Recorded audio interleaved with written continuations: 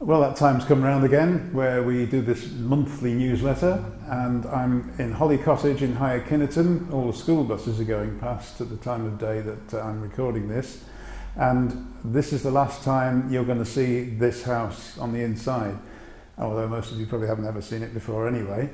Um, but it's goodbye because the survey was done, then they ordered a damp survey, a timber survey, and they were done and they were fine.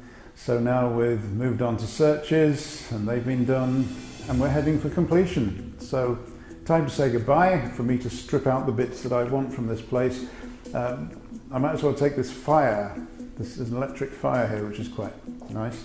And um, they don't want it because they're going to put gas in the property. They're going to knock down this wall behind me.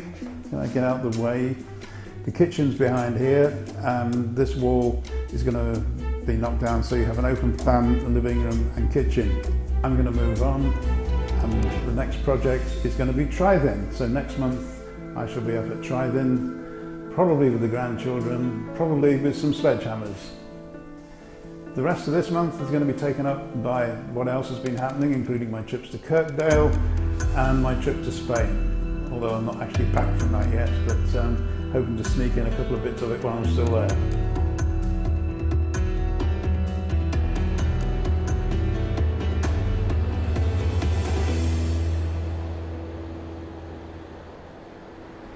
Thank you. Hello, it's Brian in Spain, and thanks to the other Brian. Um, and you're not going to hear much from me now because um, I've had no proper internet connection, so I haven't been able to send much back. I've got some pictures I can let you see later, um, and the weather's not been great. Um, it's been raining a lot, but I'm out today. It's nice and sunny, and the place is drying out. Still a lot of puddle, puddles around the place, but uh, that's all I can tell you for now because we haven't got much of a connection back home. So back to you, Brian, in Liverpool. I'm actually standing at the kitchen sink where I decided to wash my hands after getting a bit grubby around the flat and found uh, something I would have otherwise missed. The mixer tap, yes it's a mixer tap, on the sink here is broken. It leaks in a big way. You, it's one of those pull-up lever things and the water goes sideways instead of down. Great. So there's a plumber needed here uh, for a start. Staying in the kitchen for now, I noticed that the cooker is missing, that's the oven unit and the hob, both gone missing, stolen we believe.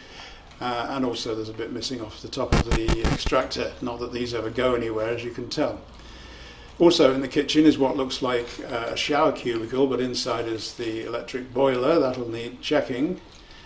The electrics are in the living room, the consumer unit is high up on the wall, there's an alarm system and a telephone entry system also in the living room and they'll all need checking out.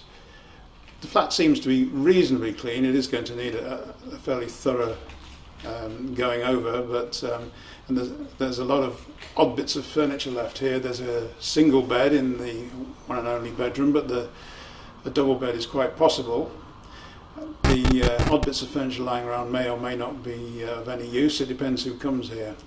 But the first thing we're going to have to do is get an electrician in, get a certification on the electrics, get him to install uh, an oven and a hob, and get a cleaner in, and probably a decorator because um, there's some of the walls could do with a bit of touching up. However, this is actually a fairly cheap rental area. You're talking about 325 to 375 being the range of, of rents around this area. So may not be worth doing a fantastic job with the decorating. It's probably fine as it is. And so I start the year with this as one of my potential list of projects to look after for other investors.